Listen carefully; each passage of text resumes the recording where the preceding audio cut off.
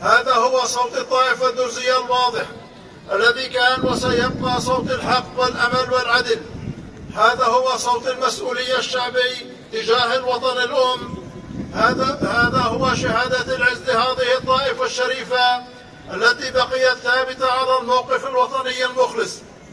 وسط المطالبة بإعادة تعمير سوريا وسط إعادة صياغة الدستور وفق القرارات الدولية وبموافقة واطلاع القيادة والدولة السورية. خلال الفترة الأخيرة رأينا عودة مجددة للدولة السورية إلى حضن المؤسسات الدولية في المنطقة والعالم وسط وإهمال لأعمار الجبل اقتصاديا ومؤسساتيا وإداريا وسط نكران ما لعبه الجبل وأهل الجبل من دور تاريخي من نصرة الوطن طوال هذه المرحلة الحرجة. نتساءل في أي عرف ينسى الجبل والدروز الذين ساندوا وتحملوا المشاق؟ بأي حق تهمل تهمل الدولة السورية أبنائها الأبطال المخلصين الذين أخلصوا من أجل وطنهم كل الإخلاص وكابدوا من أجل سلمه وسلامه كل المشاق والصعوبات والضيق؟ ننادي الدولة السورية بشكل واضح لا يقبل المداهنة ولا المصايرة. كرمي أبناء الطائفة المعروفية ردي لهم الجميل.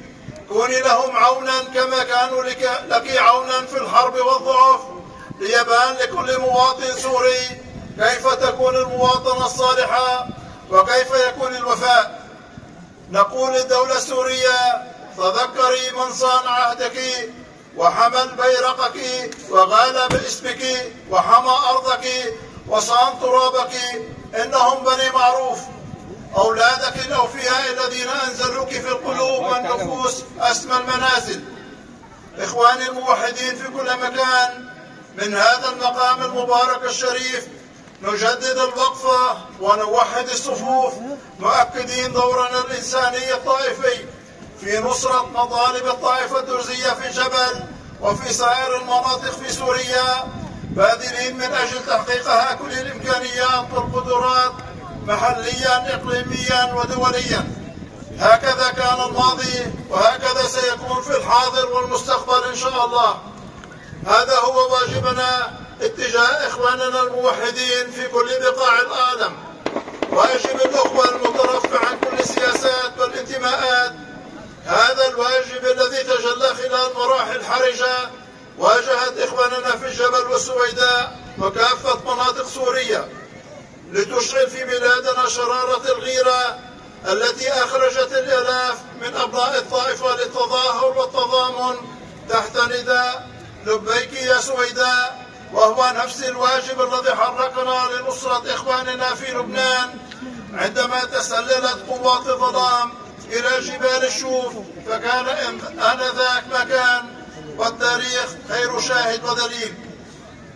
إخواني في هذه البقعة المقدسة لكل موحد على وجه الأرض اجتمع جد المرحوم سيد الجزيرة وشيخ العشيرة سيدنا الشيخ أبو يوسف أمين طريف مع مشايخ الجبل والبياضة والشوف خلال أربعينيات القرن الماضي.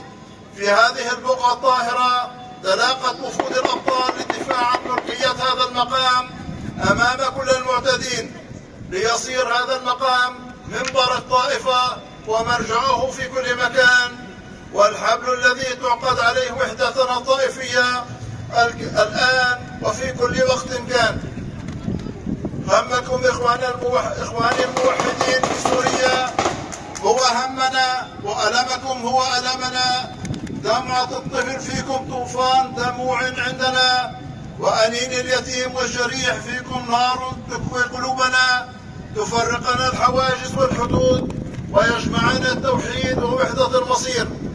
تتباعد بيننا الأجسام وتتقارب القلوب والضمائر والنفوس. نحن أنتم وأنتم نحن. هذه أمانتنا التي حملناها وإنا لها لحافظون. إخواني في داخل كل واحد منا اليوم أمل حقيقي ودعاء بعودة السلم الأهلي إلى الأراضي السورية لنرى سوريا عرينا العروبة وهي تعود أدراجها إلى روح العلا والرئاسة والازدهار. كلنا أمل نهض بانقشاع هذه الغمامة عن سوريا التي وردت للعالم الثقافة والتقدم والحضارة على مر عقود من الزمان. بإنسانية بإنسانية أهلها وطوائفها وشعبها. من هنا نصرح معا صرختكم ونعلي صوت نداءكم ليضوي في كل مكان. مبتهلين إلى الله تبارك ببركة إلى الله تعالى ببركة صاحب هذا المقام.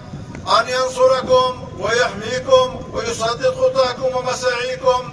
مؤكدين دعمنا وإعزازنا لدور مشايخ العقد الكرام ولكافة القيادات الشعبية والجماهيرية ووجهاء الجبل الذين يحملون أعباء هذه المسيرة في أصعب الظروف موقنين أن الشمس ولو طال الليل لابد أن تطلع ولا بد للحق ولو بعد حين أن تقبل أهلها نحو بر الأمان.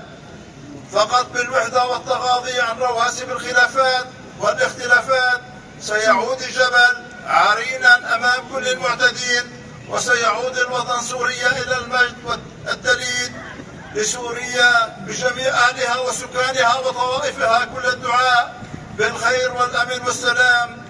الله معكم ونحن معكم والحق معكم. والسلام عليكم ورحمة الله وبركاته. الله يحمي أهلنا هنا.